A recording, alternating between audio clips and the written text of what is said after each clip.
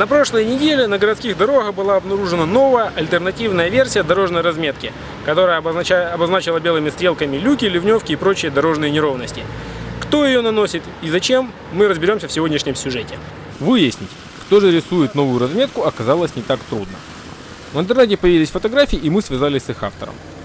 Им оказался днепропетровский велосипедист Игорь Кочет, который накануне здорово упал с велосипеда, вскочив в скрытую под лужей яму. Возвращался домой во время дождя. На вид дорога гладкая, такая, как стекло, все отлично.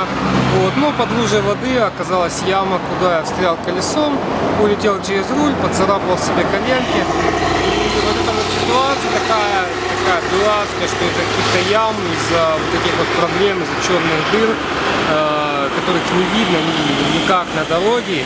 И Э, собственно, сподвигло то, что взял баллончик с краской и начал эти просто ямы обрисовывать. По нашей просьбе велосипедист продемонстрировал, какими последствиями может обернуться заезд в продольную ливневку. Показываем на практике. Безобидная с виду ливневка, которая очень много в нашем городе. Велосипедист, который не заметил там дождь там, или за машиной, вот он подъехал, встрял в ливневку и улетел. То есть шансы выехать из этой ямы ну, просто никаких. Человек, человек улетит через, через руль на проезжей части. Непонятно, кто их проектировал, но по аналогии это огромная яма в, в асфальтовом покрытии. Игорь действует не один. Как выяснилось, в городе существует целая группа небезразличных людей, и уже целый ряд улиц получили новую разметку. Среди них улица Байкальская, Коруна, Малиновского и даже частично проспект Карла Маркса и проспект Калинина. Очень приятно, что действуем не один.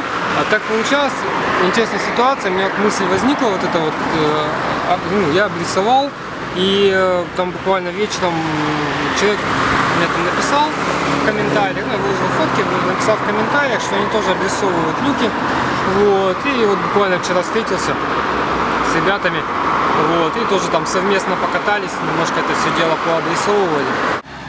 Рисующих не пугают возможные проблемы с законом. Они твердо уверены в том, что безопасность важнее.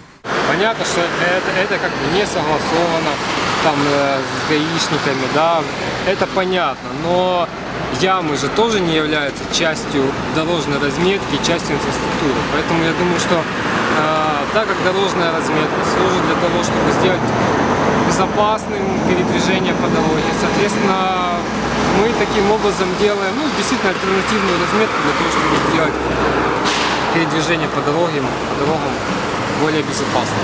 Активисты отметили, что часть маркированных дорожных ям уже закрыта. Местами добровольцами из живущих поблизости людей, местами дорожными службами. Совпадение или нет, не знают. А люк открытый люк, который на дороге, просто открытый люк. Кто-то его прикрыл бетонной плитой, и на Кассиора тоже там досточками заложили а, тоже открытый люк. То есть очень приятно, что, ну, не знаю, кто, то, ли, то ли коммунальные службы, то ли люди, которые не, рав- неравнодушны, у которых есть там те, те же досточки заложить. Ну, спасибо большое этим людям. Сергей Шишкин специально для городского сайта «Город ДПИО».